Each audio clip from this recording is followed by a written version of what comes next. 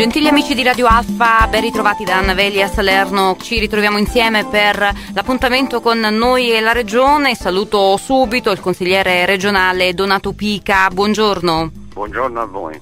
E allora, ovviamente lei nella sua attività istituzionale e politica prende sempre le difese del territorio, in questo caso salernitano, più nello specifico parliamo del Vallo di Diano ed in particolare di un progetto della comunità montana Vallo di Diano realizzato, o meglio promosso, di concerto con i comuni del territorio, ma che in qualche modo è fermo al palo eh, a causa della lontananza da parte della regione. Ma qual è la situazione? Ma la situazione è che ormai ci avviamo a delle scadenze inderogabili anche per la regione Campania, infatti entro il 22 luglio prossimo la regione dovrà uh, licenziare il cosiddetto documento strategico da inviare alla comunità eh, europea con l'individuazione di eh, alcune aree pilota su cui eh, appunto sperimentare la procedura nuova in qualche modo che si riferisce ai fondi 2014-2020, cioè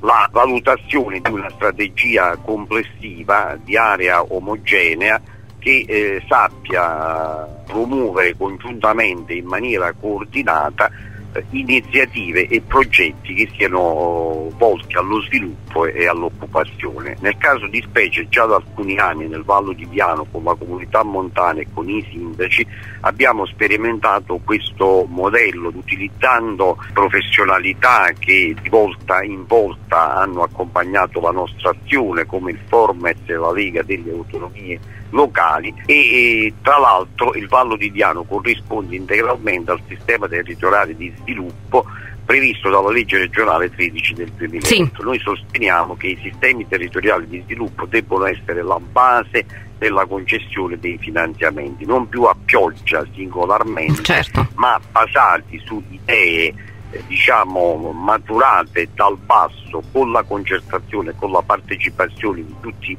i protagonisti e i soggetti dei processi di sviluppo locale per cercare di invertire la rotta e, e di dare diciamo, alle aree interne una possibilità, quella di uscire dall'isolamento e di combattere lo spopolamento. Diciamo che le aree interne si danno da fare, gli enti locali si danno da fare per realizzare eh, progetti insomma, importanti proprio finalizzati a quello che lei diceva poc'anzi, ma in questo c'è bisogno eh, del, del, sostegno dell'istituzione regione che insomma... Sicuramente il governo regionale è abbastanza debole e incerto su questa materia, vediamo che cosa sta succedendo per esempio sui fondi 2007-2013 siamo ben oltre la data prevista e ancora eh, si valutano se, come e quando possano essere definiti decreti eh, per la realizzazione di opere pubbliche nei singoli comuni. Ci siamo in affanno, stiamo correndo eh, presso alle rendicontazioni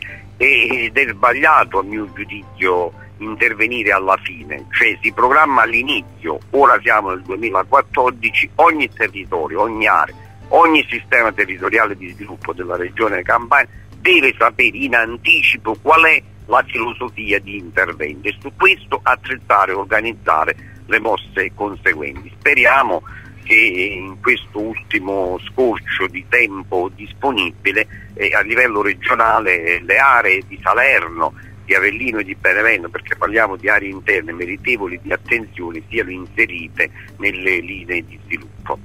Lei naturalmente dal canto suo, come sempre ha fatto, farà di tutto affinché non venga disperso questo, questo lavoro fatto eh, dagli enti locali, ma insomma che non vengano assolutamente di, eh, disperse risorse finanziarie. Assolutamente, anche perché noi abbiamo avuto la visita dell'ex ministro Barca, ci sono stati due incontri tematici, lui presiede la commissione ministeriale per i fondi della coesione e si è capito chiaramente quale sarà l'orientamento condiviso dal governo nazionale, cioè faccio un esempio rapidissimo, se noi riteniamo, io sono d'accordo che tutto il territorio del Parco Nazionale Cilento, Vallo di Piano ed Alburni deve collegare il suo futuro alla valorizzazione delle risorse locali, l'ambiente, eh, i beni culturali, storici, artistici, la enogastronomia, i prodotti tipi, insomma lo sviluppo sostenibile poi anche le infrastrutture e i servizi devono essere conseguenziali, certo. una buona sanità, una buona comunicazione, eh, i servizi devono essere organizzati, deve funzionare altro esempio la raccolta differenziata, tutto questo contesto per eh, rendere diciamo, eh, il sud della provincia, abbiamo parlato del Vallo di Carmo, il meccanismo è applicabile anche ad altre aree interne, deve essere potenzialmente competitivo per dare appunto un'offerta adeguata. Certo. Perfetto, onorevole, noi ci fermiamo qui ma ci diamo appuntamento tra qualche giorno per parlare ancora della sua attività. Intanto buona giornata e grazie. Grazie a voi e buon lavoro.